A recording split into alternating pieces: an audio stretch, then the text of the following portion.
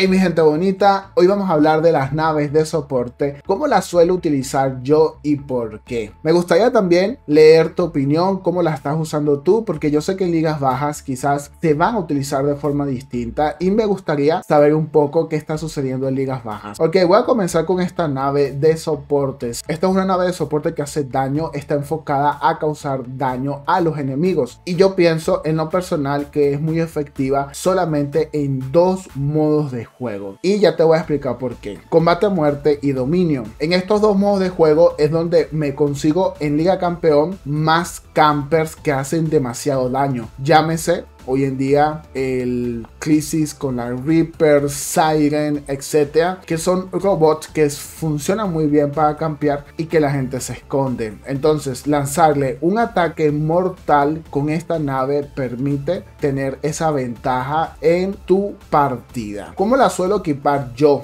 Esto sí ya es algo muy personal, pero tenemos una opción que es sumamente buena. Esto es como una bonificación o una habilidad. Esto lo que hace es que coloca lento sí al enemigo y le permite que la nave espacial le cause más daño porque no puede escapar. Sí, en teoría funciona así. La duración del efecto son 6 segundos. Le puedes colocar inclusive 2. También hay unas opciones que tenemos por acá que lo que hace es que aumenta el daño, fíjate, acá me dice 22k, que es bastante en ligas más bajas. Yo en campeón, cuando la uso en combate a muerte, la suelo utilizar de esta forma. Dos Gravity Amplifier para que el enemigo se quede súper lento y un anti-jamming. ¿Y por qué un anti-jamming? Porque esto me quita el efecto cegador, ¿sí? Y en combate a muerte y en dominio es donde más me consigo gente todavía usando las armas que ciegan en los titanes. Debido a eso es que yo casi no utilizo este tipo de nave para hacer daño, para causar daño en mis gameplays. Porque yo juego es ofensiva de balizas y en ofensiva de balizas ya más o menos te voy a, explicar qué es lo que yo pienso. Yo te daría el consejo que te pongas a estudiar qué tipo de enemigos hay en tus gameplays, ¿sí? en tus batallas. Ejemplo, si tienes robots enemigos que son muy lentos, esta nave te va a beneficiar porque va a ser muy efectiva. Pero si en tu, en tu liga, en el modo de juego que, que, tú utilizas, hay demasiados robots con velocidad, yo en lo particular no optaría por esto porque no va a ser efectiva. Si yo te hablo de Angler, Ravana, Nether, Linz,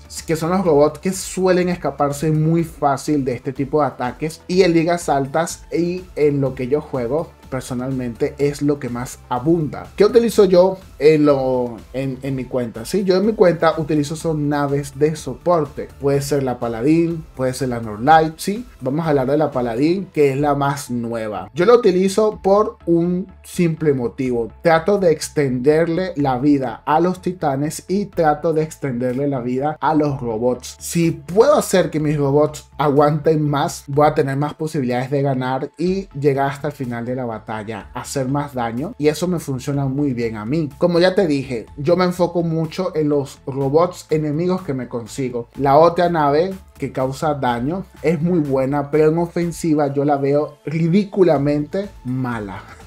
demasiado mala. ¿Cuáles son los titanes que más me consigo? Luchador, me consigo el Minos, me consigo el Lindra y me consigo el Rook. Estos titanes tienen habilidades que le permiten escapar fácilmente del ataque de la otra nave. Si te estoy hablando de, de las dos naves que más utilizan actualmente en Liga Campeón. Entonces me enfoco mucho en un tipo de nave que me dé soporte para poder maximizar el resultado de mi hangar. ¿Qué suelo utilizar? Fíjate, yo suelo utilizar esta que es la misma que te, te mostré para que me quite el efecto cegador. Todavía hay demasiados angler, demasiados angler. Entonces esto me funciona súper bien en contra de esa opción. Lifesaver lo que me va a dar es sigilo, 3 segundos de sigilo. En campeón, al menos en campeón, el sigilo es meta, es protección y te permite poder esos 3 segundos hacerle daño al enemigo y destruirlo defendiendo tu baliza. Acuérdate que en ofensiva de balizas, que es lo que yo juego, si pierdes la baliza, existe posibilidad de que pierdas totalmente el gameplay, los enemigos hagan raspado en esa baliza y destruyan a todo tu equipo. Por eso es que yo me enfoco mucho más en la protección en ofensiva de balizas. Y la otra torreta, que era lo que te estaba mencionando, está,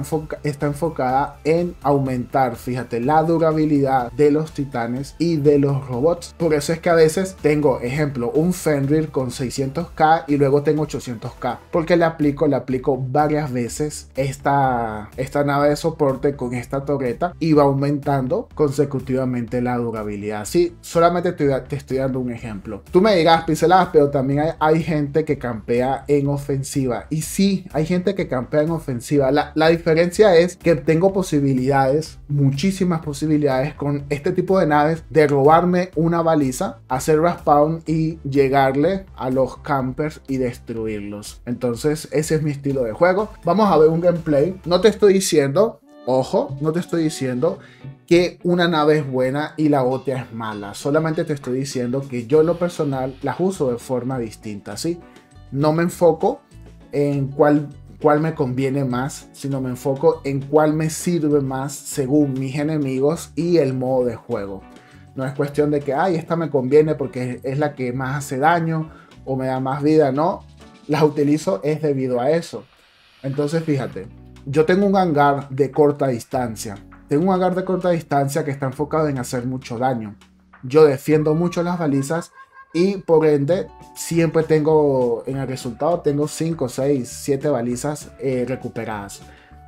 Este, este tipo de, de, nave, fíjate, aquí estoy usando la que hace daño, ¿sí? Este tipo de naves que eh, hacen daño son muy buenas, pero en lo particular no, no me sirve. Fíjate cómo ese Nether esquivó la nave. Ahí no se vio la nave, pero yo lancé una nave, sí. Es que a veces no aparece la animación por cosas del juego. Entonces, yo acá me fuese beneficiado mil veces más con el escudo y el sigilo porque estoy combatiendo de corta distancia. Cuando tú combates de corta distancia haces muchísimo más daño y por ende vas a ganar muchísima más plata, ¿sí?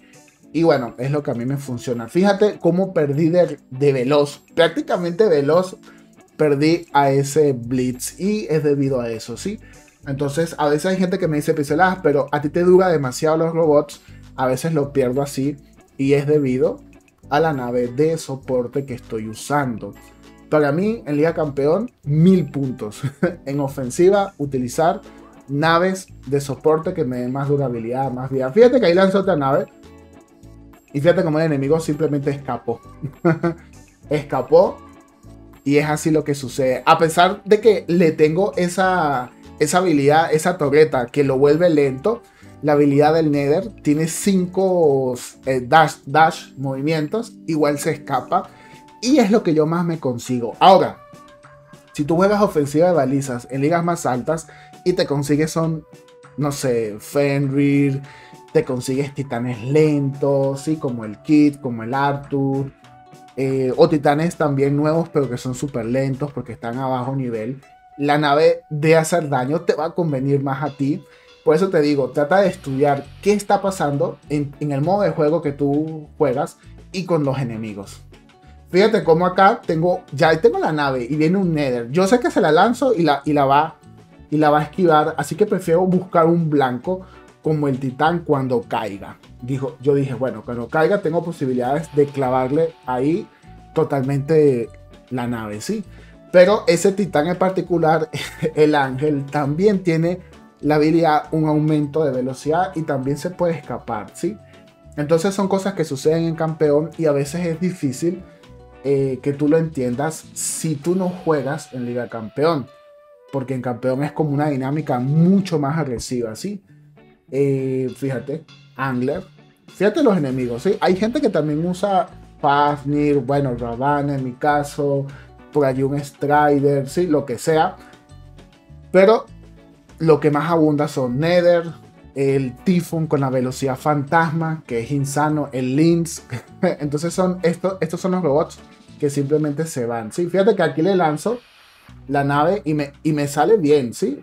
Porque es una nave, considero yo que es una nave muy circunstancial. Sale muy bien porque el enemigo no quería dejar la baliza y le lancé la nave y pude causarle bastante daño, más el daño que yo le estaba haciendo, ¿sí?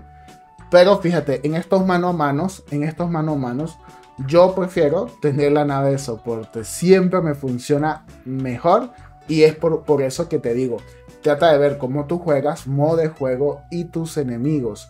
Allí tú sacas conclusiones. Joder, si lanzaste 10, 10 veces la nave de soporte y nadie, no hiciste kills, a nadie se la pegaste porque la gente escapó, no te sirve. Si fue lo opuesto, sí te sirve, ¿sí? Esta es mi cuenta, por cierto. Y bueno, hice este video porque he leído muchos comentarios acerca de eso. Inclusive ayer alguien me dijo, pincelada, no te molestes, pero utilizas mucho la misma nave, no sé qué. bueno, porque es, la nave que me funciona, ¿sí? Es la nave que, que me funciona a mí en particular, según mi estilo de juego. Si te pones a ver, solamente tengo un camper y es obligado. es un camper que lo tengo destinado para matar imugis, para tratar de campear en, no sé, los mapas tipo Canyon y estas cosas. Pero yo no juego de larga distancia. Me parece eh, que no es lo mío, pues está campeando y esa paja no es lo mío, ¿sí? Bueno, gente, déjame en los comentarios cómo tú utilizas las naves de soporte y por qué las estás usando así. No, no me digas solamente, la mejor es esta, no sé qué, no. Explícame por qué para ti es la mejor, por qué te funciona, qué robot tú estás usando, ¿sí? que se benefician de eso. Yo, ejemplo, tengo una cuenta en Liga Experto. Por allí Liga Experto ya eh, maestro, experto, de ahí no paso. Eh, y las cosas están a MK1, MK2, ¿sí? algunas MK2, 1, cosas así. Bueno, la cosa es que en esa suelo utilizar la que hace daño. porque me funciona mejor allí. Los robots siento que son más débiles y así yo le coloque una nave de soporte, igual termino perdiendo porque las, bueno, no son los robots, son las armas. La capacidad de hacer daño de, de, mis robots de mangar no es tan buena. Entonces me enfoco en usar esa nave como soporte. Eh, para hacer más daño, obviamente, ¿sí? Pero bueno, como pues, por eso te digo, trata de ver cómo funciona en tu hangar. Yo creo que en el tema de las naves de soporte no hay ninguna que funcione mejor, no hay ninguna que funcione más chido, sino que todo depende de tu hangar, modo de juego y los enemigos, ¿sí? ¿Cómo tú juegas con tu hangar? A mí me encanta por los titanes. Últimamente los titanes son sumamente importantes eh, por las sónicas que están haciendo mucho daño, ¿sí? Fíjate que ahí le lancé, ahí está el, clave ejemplo del Lynx que se fue. Y trato de hacerle yo daño y fíjate esta, esta maniobra. Me mató con la habilidad esa, ¿sí? me, mató con el Execution, creo que se dice. Entonces, esos son los enemigos que, yo me consigo y por eso es que uso las naves espaciales. De esa forma. Bueno, las naves de soporte, naves nodrizas, naves espaciales, no sé cómo, cómo se le diga realmente. Aquí íbamos ganando, íbamos súper bien y luego nos las clavaron al final, ¿sí? Aquí al final ya perdimos. Eh, este fue el que quedó en primer lugar, me parece. A ver. Exacto. Tenía Lynx, tenía Angler, tenía Angler, tenía Nether, ¿sí? Ejemplo, el Angler, le lanzas una nave de esa, aplica la habilidad y se va. Entonces es bastante difícil hacer daño o tener buen desempeño con esa nave de soporte. Gente, se les quede mucho, que la pasen muy bien. Bye bye.